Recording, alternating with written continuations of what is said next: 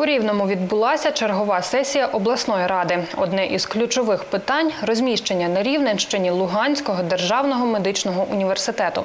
Нагадаємо, їм довелося переїхати в західну Україну через воєнні дії. Заклад вищої освіти вже отримав нову юридичну адресу і тепер має змогу повноцінно функціонувати. Він базуватиметься у дев'яти медзакладах області. Навчальний процес планують розпочати 1 вересня. Більше про це далі у прямій мові. Ми шукали вільні площі і за договорами оренди або за договорами співпраці. Відповідно, е, Луганський університет буде у нас на Рівненщині. Це і обласна клінічна лікарня, і перинатальний, і діагностичний центр, і фтизіопульмонологічний. Тобто всі більші з кожним керівником спілкувалися. Маємо співпрацювати. Ми надаємо безоплатну оренду, без права внесення поліпшень. Але мені би дуже хотілося, якщо ми бачимо перспективу на кілька років роботи цього навчального закладу на Рівненщині, щоб ми все-таки знайшли повноцінне.